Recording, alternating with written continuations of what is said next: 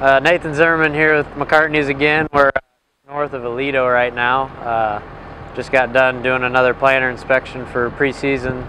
Um, went through the clutches and everything. Um, ran into an issue. Couldn't get the guy's ISO controller to connect with the ag leader. Um, got that problem solved, and uh, we're still waiting on a phone call from OmniStar to get his guidance going. But uh, we can hit the road and take care of that later.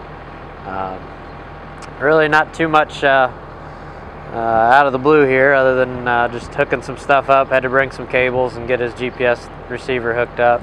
It gets difficult when you're like what this planter's got on. It's a Raven ISO controller.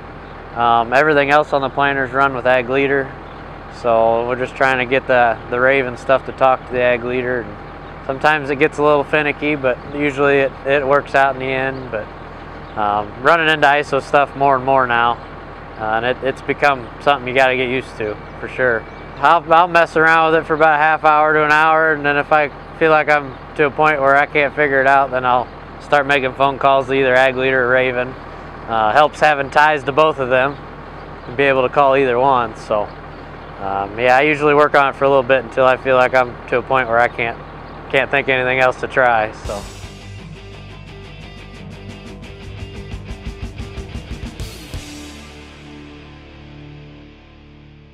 Uh, ISOBUS is a long ways away, in my opinion. Uh, they got a lot to work on. I, I know the main reason they're doing it so that anybody's controllers can talk on anybody's screen that's that's ISO. So um, that part I think they've got. It's the functionality of it and the, the ease of operation that they're still struggling with.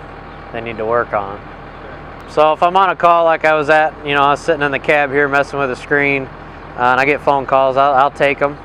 Um, if I'm if I'm in the middle of something with a customer, I try not to take them because I'm trying to explain to him something. But um, for what I was doing here, I was able to take I think three calls and and uh, had a guy text me with some issues and hopefully got him fixed up too. But uh, multitasking through those things, so I can sit there and mess with the screen while I'm talking to somebody else.